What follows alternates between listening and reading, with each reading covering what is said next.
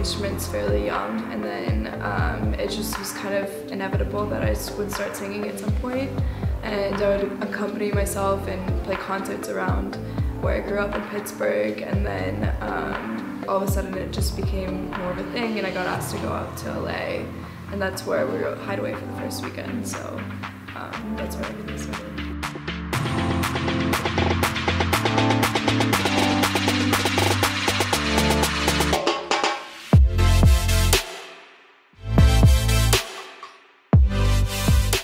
I started to listen more to Bollywood artists and Punjabi artists um, and I've, I've always just kind of loved like the theatricality of it and um, and it's just they grow up with such a cool perspective on music and um, a lot of people in India um, uh, who are singers can sing like quarter tones which we can't even hear or sing in the States. So it's just like, it's a crazy thing. And I've, I definitely want to like study it more and um, try to bring it into my music at one point.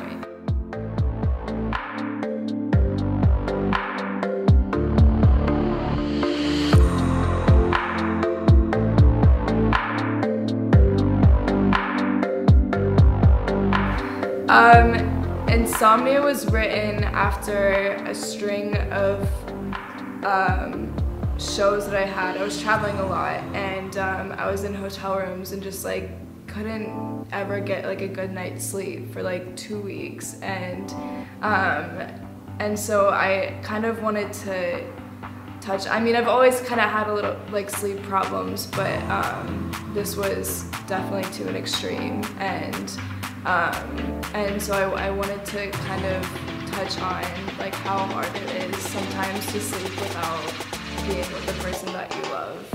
And um, so it's essentially a love song, but um, it's like, it's how like their absence can kind of make you go crazy sometimes.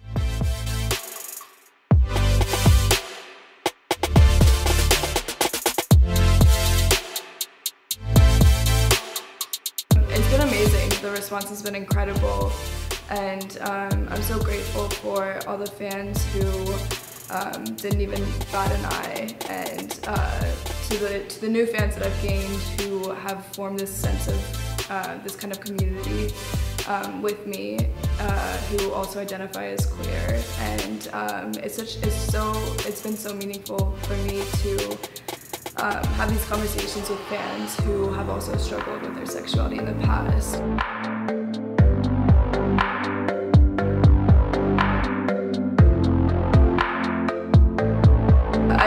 The through line between all of my songs is that it's all very real, it's very personal, um, and I like to keep it that way because um, to me that's just what art is meant to be. I think it's meant to be real and from the heart, and um, and I think that that's what's gonna connect with people the most in the end.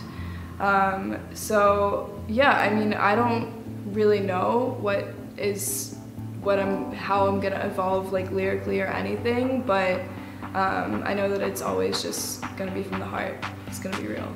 I have so much on the way, so much that I'm really excited to share with you guys, and um, I have an album in the works. Can't say any dates yet, but it's coming soon, and uh, some touring this summer and next fall. So stay tuned.